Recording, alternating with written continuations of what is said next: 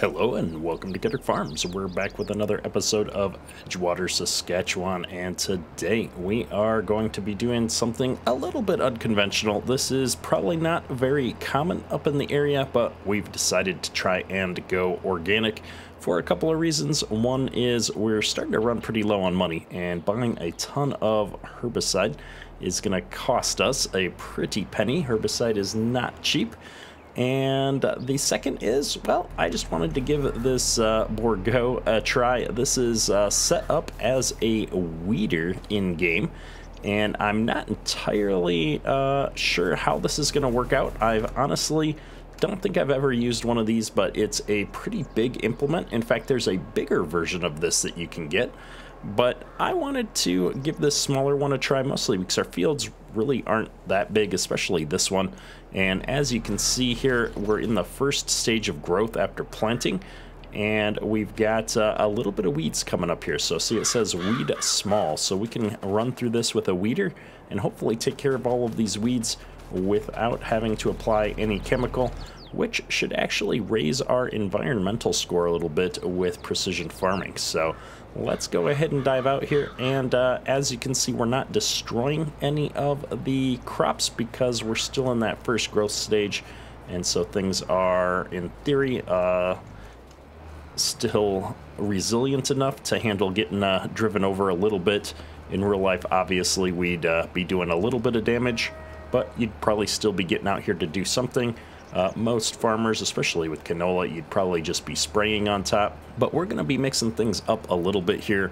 Uh, part of Farm Sim is being able to try out new equipment, and I do like to play realistically and within you know certain uh, guardrails. And there are farmers up there trying to do uh, organic crops, so we're going to give it a shot.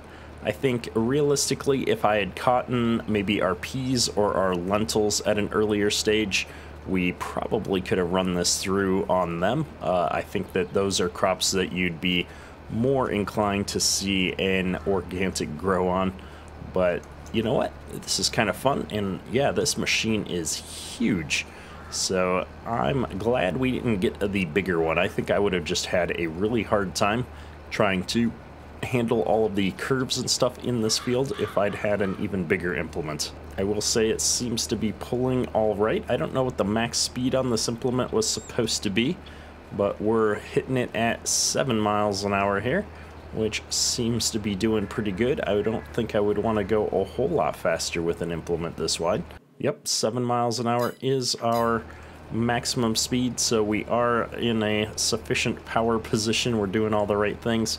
Uh, I have made the shift to manual gears over the last few days in all of my series. We probably talked about this on uh, the previous episode, and so I'm still getting used to that a little bit. Occasionally I forget to pop into the correct gear and notice that I'm going a lot slower than I should be, but we seem to be in a good spot here. And this field is going to take no time at all. Uh, we'll probably end up making one more pass around in a headland fashion here just to give us a lot of room. On implement this wide, I'm going to need a lot of room to kind of turn around and avoid some of these trees and bushes around the outside of the field, I think. I'm not bothering to set up a GPS track here on this path because well, quite honestly, if I overlap a foot or two with an implement this wide, it's still not going to matter. We're going to probably take about the same amount of passes around this field. So the trick here is to turn early enough so that I don't put this thing into that telephone pole or any of these trees. Oh, we've just made it. Look at that. We're starting to get the hang of uh, some of these bigger implements and the articulated steering vehicles here. Not quite a pro yet, but any round I can uh, manage not to smack into a tree is a good one. And you can pretty much see we don't have uh, any weeds in this area. It's hard to see where you've actually run the uh, weeder through here, but I'm gonna just assume if there's no weeds, it means I hit that area. There's actually not that many weeds in this field as a whole, which is one of the other reasons I really didn't want to have to run a sprayer through here is just it would have been a waste of a lot of product because we don't have a more modern sprayer setup that's uh, able to use the per nozzle shutoff like Precision Farming uh, has added to the game. I really need to find ourselves a good sprayer that also is precision farming capable or just go through the work to add it myself. It's not that hard to do. It just takes a little bit of time, especially with these bigger sprayers, to go in and set up all the different sections appropriately. Uh, but I probably need to just jump back into that uh, stuff and get that done on a few of our standard mods that we've started using across saves. Uh, this Best Way sprayer has definitely been one of the better pull behind sprayer mods that we've had and I think it's probably due for a precision farming update here soon. Alright, I'm gonna get this little bit up here that we've got, this curvy bits, with, I can see just a little clump of weeds up through here.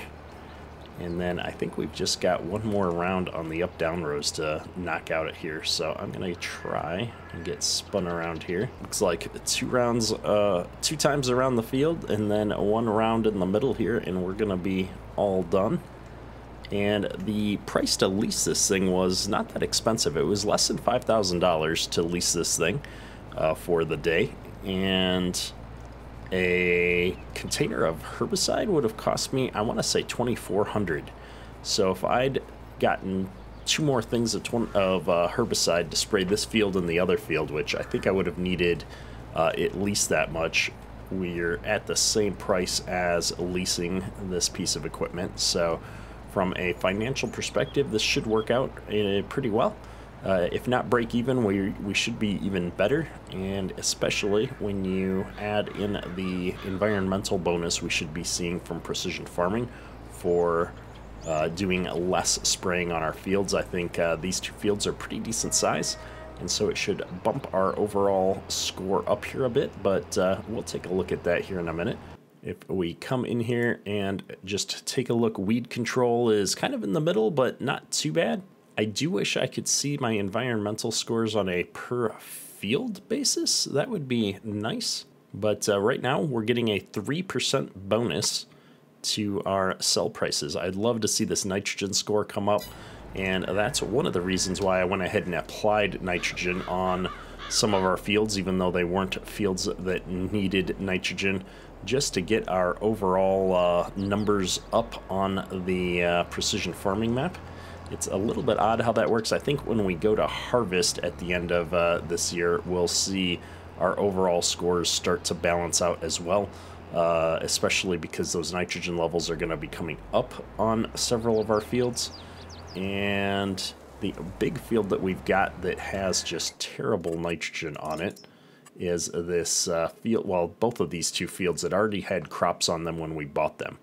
And so that's unfortunate. Not a lot we're going to be able to do for those until after harvest.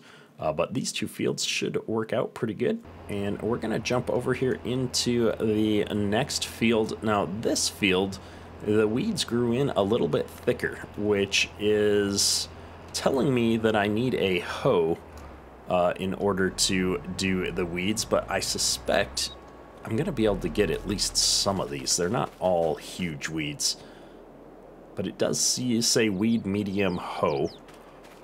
These don't look as big. These look smaller. Oh, these are weed partial. I bet you I'm going to be able to knock out some of the weeds with the weeder here. And it'll probably leave a few behind that are the medium size. So let's uh, get over here and see. Uh, it doesn't look like I'm knocking out... Oh, yep, some of those weeds just went away. So Let's uh, let's see here. I'm definitely knocking out weeds. Uh, there's a few getting left behind though. Well, I think it's still better to continue running through with the mechanical weeder here rather than uh, jumping over into herbicide. I think we're to stick with this. And yeah, we'll have a few weeds here and there, but it's not going to be nearly as bad as it was. And that should hopefully give us a balance with our environmental score here in precision farming. Um, it's interesting, like, I suppose I could have ran through with the mechanical weeder before the seeds sprouted and the crops grew up. I was just trying to be a little bit uh, more realistic.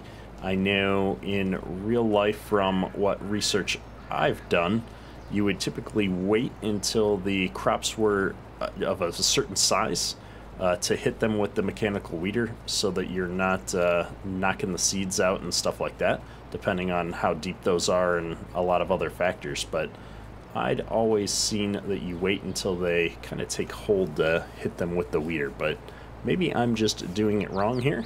I don't know. Uh, I did look up some information specific to Saskatchewan in general, and it seemed like uh, the farmers that are using the more organic methodology were waiting until the crops had uh, actually come up and were a certain size before hitting them with the mechanical weeder. Either way, it is Farm Sim and we're where we're at, so I think we're just going to accept our fate here and uh, keep trucking with this thing. I'm uh, not overly dissatisfied with uh, the amount of weeds that we're getting out of the field here.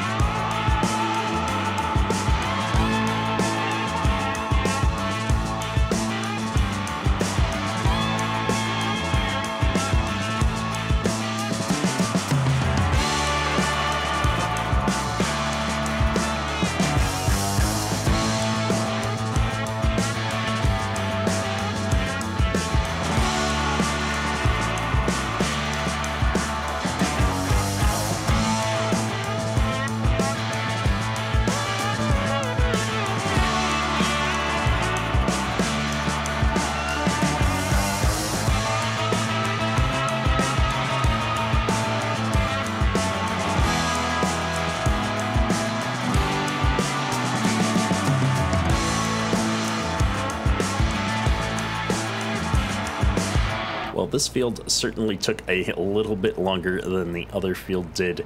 Uh, so now I'm starting to feel the draw to that uh, slightly wider implement, adding another, I think it was another 20 feet onto this. I think this is 170 maybe, and the other one would have been 190. Ah, I might, I could get behind that maybe.